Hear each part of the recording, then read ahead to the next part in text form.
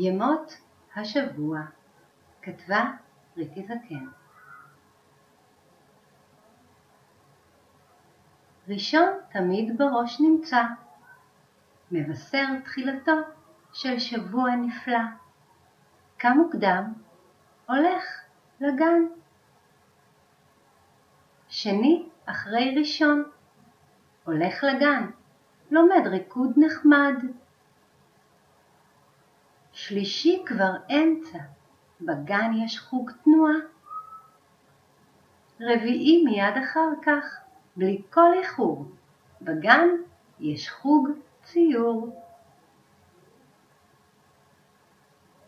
חמישי הוא הקצה, סוף השבוע מתקרב, בגן מכינים בצק.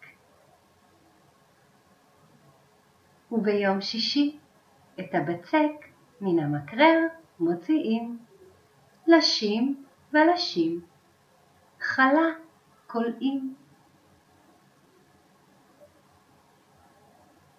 הריח כה נעים, לכבוד שבת מלכתי.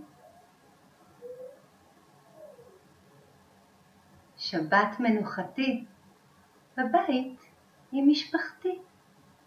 לגן לא הולכים.